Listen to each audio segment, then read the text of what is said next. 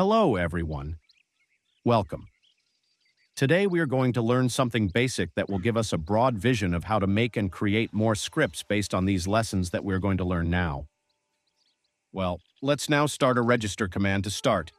Here we want to spawn an object in the world. In Client Lua, let's start by creating the spawn barrel command. This command will allow the player to spawn a barrel in front of the character for testing.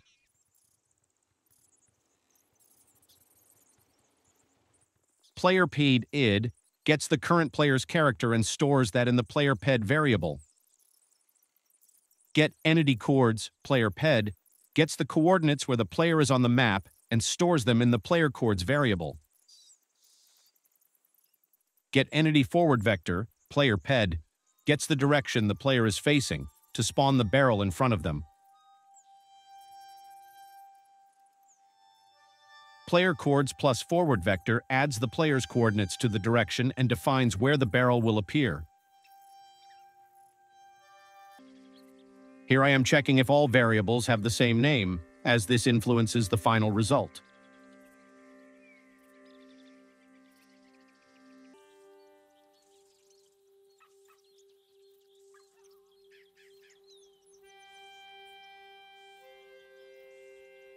Get hash key p gun barrel set 01x turns the barrel model name into a hash, which the game understands.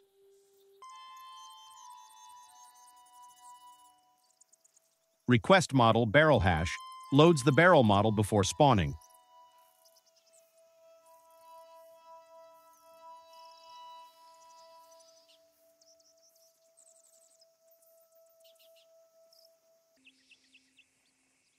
Create object is where the barrel actually appears in the game, at the coordinates we calculated.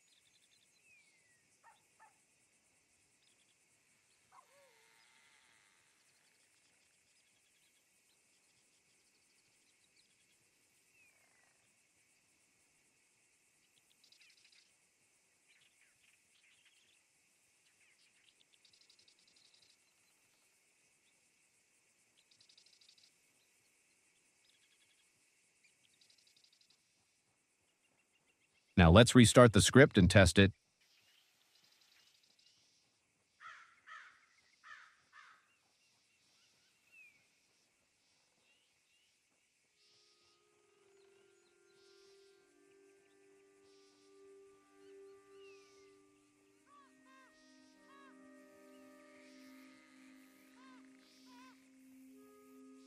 As we can see, there was an error. It couldn't create the object because it couldn't find the value for the spawn coord's coordinate.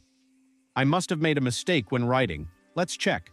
This is a good opportunity for you to see how to resolve an error in the console. It tells you the problem, so you go back to the code and check. So after correcting, we will restart the script to correct the code and test it again. Great, it's working, but we see that the object is still floating, so we'll need to use another function to adjust this. I am deleting the object so as not to pollute. I am deleting it using Spooner, but we are going to learn a command here as well to remove them using the command. With the implemented removal logic, you could adapt it to any event or code necessary to use it, but let's focus on the principles that are the commands. Now we will use the native function to place the object on the ground whenever it is spawned.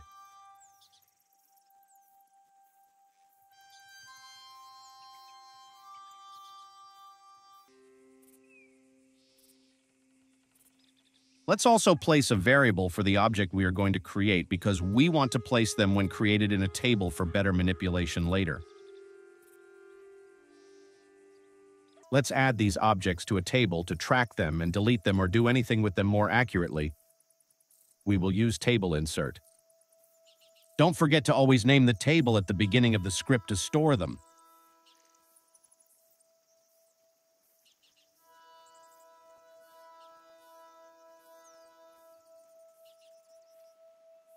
Now we will create the command to interact with the table and delete the object whenever we want.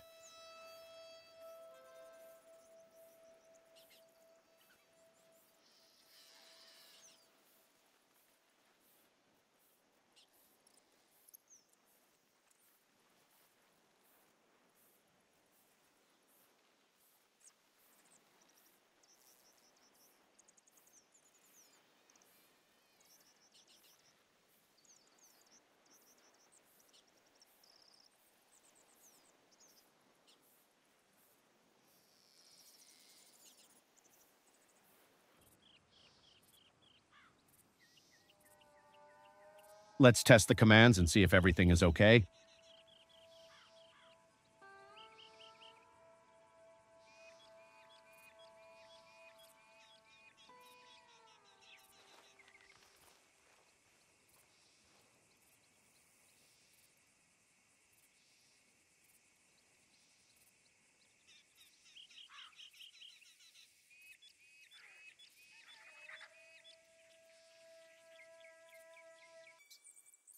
Correct. Now we are on the right track. Let's just now that everything is working, learn the concept of print. It will give us a response in the console if everything goes well.